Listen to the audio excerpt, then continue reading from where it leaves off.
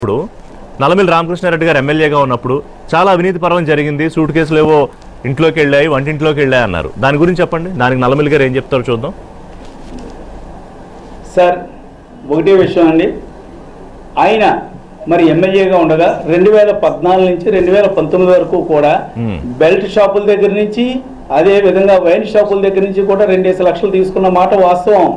అదే విధంగా ఎక్కడ లేఅవుట్ వేయాలన్నా మైనింగ్ చేయాలన్నా కూడా ఎకరానికి రెండు లక్షలు ఫిక్స్డ్ రేట్లు అండి అంతేకాకుండా ఈ అసలే గిట్టుబాటు ధర లేకుండా రైతులు ఇబ్బంది పడుతుంటే రైతులు పండించే ధాన్యం సొసైటీల దగ్గర క్వింటాల్కి పది నుంచి పదిహేను రూపాయలు తీసుకుంటాం జరిగిందండి. ఇన్ని అమ్మి అదే కాకుండా పోస్టింగ్లు కావాలన్నా కూడా ట్రాన్స్ఫర్లు ఏదన్నా ఒక పోస్టింగ్ కావాలన్నా ట్రాన్స్ఫర్లు కావాలన్నా అమౌంట్లు ఈ రకంగా అవినీతి కార్యక్రమాలు చేపట్టాడు కాబట్టి పోయిన ఎలక్షన్లో ఆయన్ని చిత్తు చిత్తుగా ఓడించారు. నాకు రాష్ట్ర స్థాయిలో మెజార్టీ అంత బాగా వచ్చిందంటే కారణం నాలుగో స్థానం వచ్చిందంటే కారణం ఒకటి మా ముఖ్యమంత్రి జగన్మోహన్ రెడ్డి గారి పట్ల ప్రజలకున్న అభిమానం అదే విధంగా తెలుగుదేశం పార్టీకి చెందిన చాలా మంది కార్యకర్తలు నాయకులు కూడా లోపాయికారిగా నాకు ఓట్లేశారు కాబట్టి నాకు అంత మెజార్టీ వచ్చింది. వాళ్ళందరూ ఎందుకు వేశారు? ఆ తెలుగుదేశం పార్టీకి సంబంధించిన వైన్ షాపుల దగ్గర కూడా బెల్ షాపుల దగ్గర కూడా ఈయన అమౌంట్లు కలెక్ట్ చేశారు కాబట్టి వాళ్ళందరూ బాధతో నాకు ఓట్లేశారు. లేదంటే అన్ని ఓట్లు నాకు మెజార్టీ ఎప్పుడు వస్తుంది? చరిత్రలో ఎప్పుడూ లేదే. రామకృష్ణారెడ్డి గారు ఇప్పుడు ఎమ్మెల్యే చిట్టా కాదు ఒక నిమిషం. గారు. అంతేకాకుండా ఒకసారి ఒక్క నిమిషం సార్. ఓకే.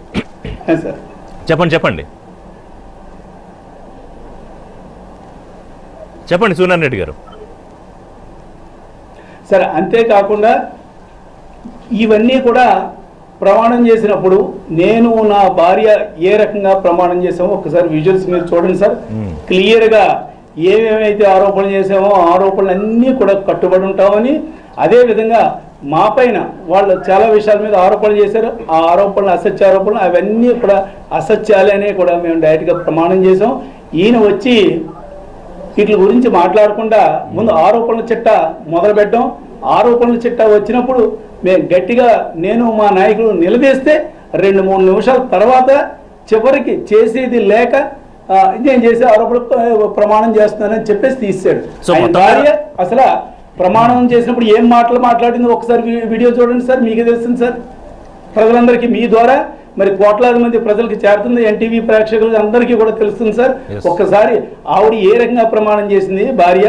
నా భార్య ఏ రకంగా చేసింది? అంటే అది ఆవిడ ప్రమాణం చేసిందా లేదా ఆవిడ భార్య? అది చేస్తే తెలుస్తుంది సార్. నిజంగా ఆ రోజున ఈ తెలుగుదేశం పార్టీ అధికారంలో ఉన్నప్పుడు సూట్ కేసులన్నీ వంట ఈ వంటగదిలోకి వెళ్ళాయి. అందుగురించే ఆ తెలుగుదేశం నాయకులు కార్యకర్తలే ముద్దుగా మా కలెక్షన్ క్వీన్ అని చెప్పుకునేవారు. చందాలు రాని అని ఏమున్నా కూడా సూట్ కేసులు అక్కడికే వెళ్ళి రామకృష్ణారెడ్డి గారు, ఒక నిమిషం. ప్రమాణం చేయించడానికి ఈయన సుధారెడ్డి రెడ్డి జంగిపోయాడు. గారు సుధారెడ్డి గారు ఒక నిమిషం. రామకృష్ణారెడ్డి గారు ఇప్పుడు చిట్టా మీ దగ్గర ఉందన్నారు. ఎవిడెన్సెస్ అన్ని మీ దగ్గర ఉన్నాయి ఆధారాలన్నీ పదిహేను పదహారు క్వశ్చన్లు అన్నారు. కానీ మొత్తం చిట్టా ఇప్పుడు సూర్యనారాయణ రెడ్డి గారు విప్పుతున్నారు. సూర్యనారాయణ రెడ్డి గారు ఇవాళ అధికారంలో ఉన్న ఎమ్మెల్యే. ఇవాళ అధికారంలో ఉన్న ఎమ్మెల్యే సంవత్సరాల కాలంగా